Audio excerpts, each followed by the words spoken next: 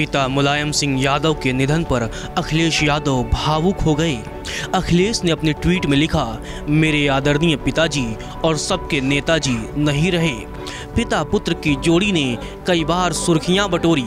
अखिलेश मुलायम के रिश्तों में कई बार उतार चढ़ाव देखने को मिला।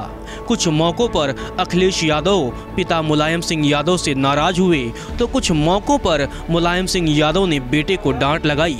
लेकिन पिता पुत्र का प्यार कभी कम न हुआ।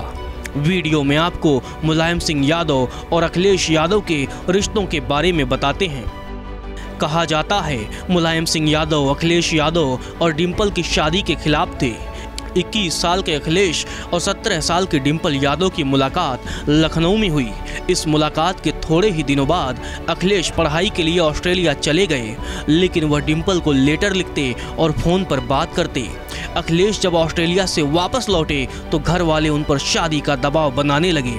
लेकिन अखिलेश तो डिम्पल से शादी का मन बना चुके थे। इस बात को वह पिता से बताने में डरते थे।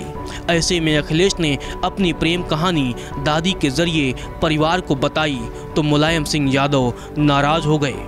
कहा जाता है कि मुलायम अखिलेश डिम्पल की शादी के खिलाफ थे, लेकिन अमर सिंह ने मुलायम को समझाकर दोनों की शादी कराई। खबरों के मुताबिक, वे बेटे अखिलेश की शादी लालू प्रसाद यादव की बेटी से कराना चाहते थे। पिता पुत्र में नाराज़गी का सिलसिला उस वक्त शुरू हुआ था जब मुलायम सिंह यादव ने अपनी दूसरी पत्नी साधना गुप्ता के साथ संबंधों को सार्वजनिक किया। मुलायम सिंह यादव ने साधना गुप्ता के साथ संबंधों को उस वक्त स्वीकारा था, जब उसी साल अखिलेश यादव की माँ मालती देवी का निधन हुआ था। माँ के निधन से अखिलेश दुखी थे, ऐसे में वह दूसरी माँ को स्वीकार करने को तैयार नहीं थे, क्योंकि वह बिल्कुल नहीं चाहते थे कि साधना गुप्ता उनकी माँ की जगह लें। अखिलेश यादव की बायोग्राफी बदलाव की लहर में इस घटना का ज़िक्र किया गया है। किताब में बताया गया है कि साधना गुप्ता को मुलायम सिंह की पत्नी स्वीकार करने पर अखिलेश यादव अपने पिता से बहुत नाराज़ थे।